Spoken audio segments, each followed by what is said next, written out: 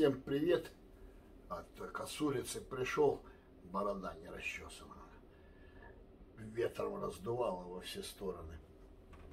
Значит, смотрите, о чем разговор. Э, по поводу э, физкультуры для э, суставников. Есть проблема, с которой сталкиваются большинство людей. Надо правильно понимать, что суставники в основной своей массе, я уже могу смело некоторую статистику предъявлять вам, потому что э, за моими плечами группа, в которой находится, точнее, через эту группу прошло более тысячи человек, потому что она уже функционирует третий год. И каждый месяц идет какое-то обновление. Кто-то остается, кто-то уходит. Поэтому я насчитал более тысячи человек. И э, я могу точно сказать, что вот профессиональных спортсменов э, или таких э, хороших фанатиков спортсменов достаточно мало в этой группе. Большинство это женщины, женщины, матери, бабушки, это домохозяйки, это в основном те люди, которые э, к спорту имели очень поверхностное отношение. И из этого э, складываются некоторые впечатления, которые выходят э, за стены этой группы, или же просто, когда люди начинают заниматься по Ютубу, где-то что-то увидели, вот, говорит, полезное упражнение там на подвздошную, я не начинаю делать. И сталкиваются все с тем, что данное упражнение вроде бы на начальном этапе, пока вы делаете, дает вам облегчение, вы э, запускаете механизмы, э, разогревающие ваши э, вот этот э, локальный очаг боли, там, да, ну, например, в районе сгибателя бедра, вы начинаете вытягивать, растягивать, вы начинаете массажировать, там, вы начинаете греть и получаете облегчение. Проходит день, проходит два, вы делаете, три проходит – но после облегчения вы начинаете двигаться в обычной своей жизни, и опять боль к вам возвращается. Может в меньшей степени, может в большей. Все еще зависит от вашей психосоматики, все зависит от вашего внушения, самовнушения, насколько вы верите в успех этого предприятия. Но факт то, что э, к вечеру у вас опять что-то разболелось, что-то не так, не так все, как вы думали, и буквально через три дня вы это упражнение перестаете делать. Вот скажите, что я говорю неправду. Ну перестаете же делать. Ну не делайте вы. Вот день, два, кто-то на следующий день уже не делает. Кто-то еще на второй день попробует. Кто-то на третий. Но чтобы кто-то поработал месяц, в монотонном режиме, выполняя там какое-то упражнение или комплекс упражнений. Конечно, одно упражнение не решает, да, нужно э, в сочетании несколько упражнений, чтобы ну, понимать, как оно работает, там, на мышцы агониста, на мышцы антагонисты, чтобы как-то сбалансировать эту нагрузку.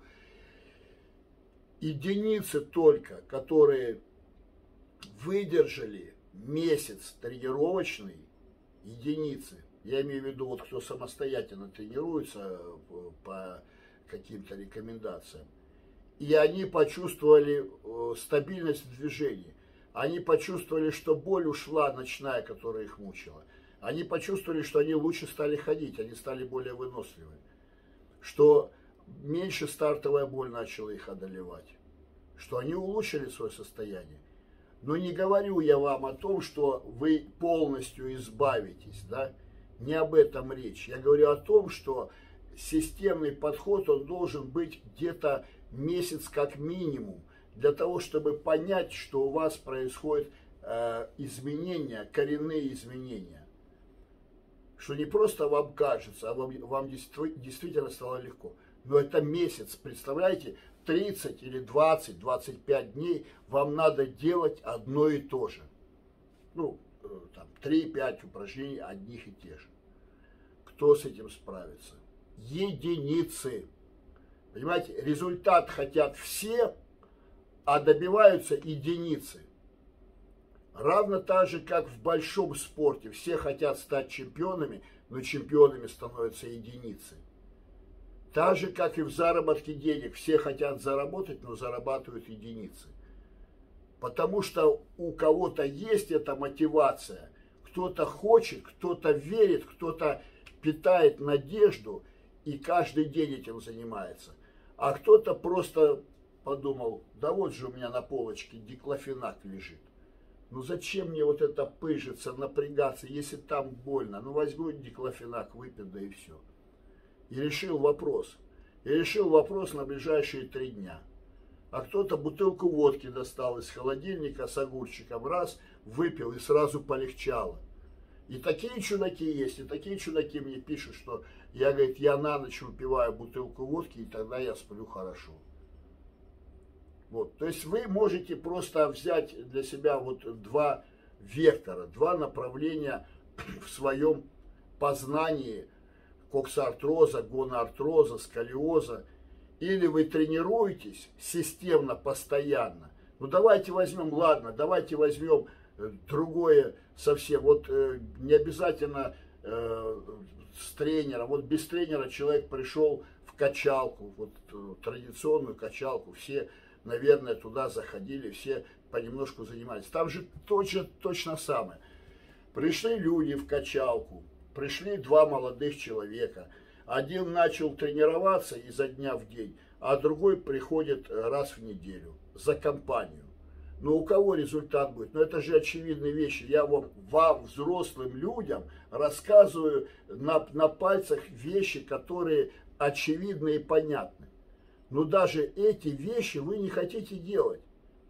И первое, что вы пишете, вот э, эта категория людей, что говорит, я три дня позанимался, три дня или четыре дня, и ничего существенного не произошло. А что должно произойти?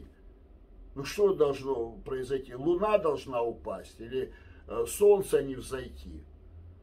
Что должно произойти с вами такого замечательного и такого очень индивидуального, что могло бы вас удивить, что чудо есть в, в спорте.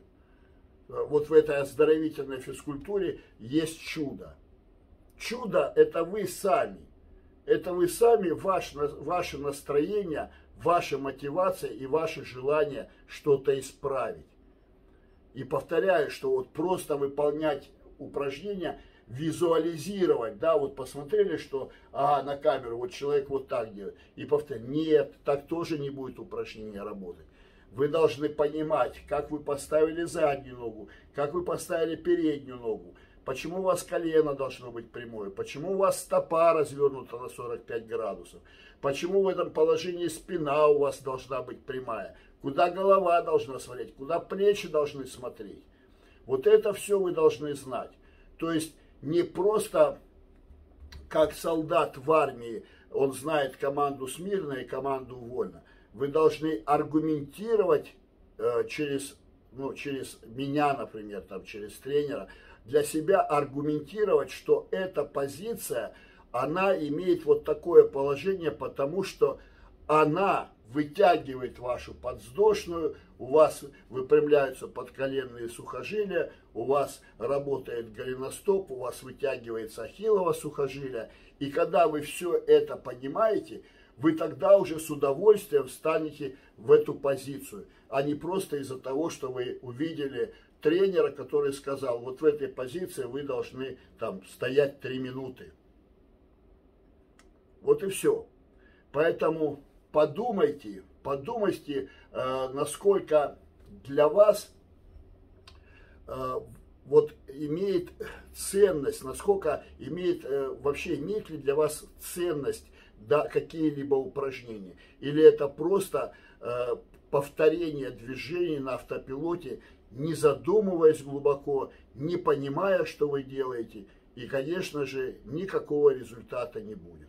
Потому что существует каждому упражнению целый цикл лекций, которые вы должны слушать и понимать, для чего это делается, в какое время это делается и как долго его нужно делать, чтобы получить долгожданный эффект.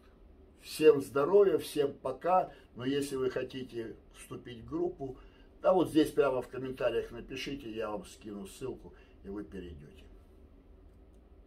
Живем без боли.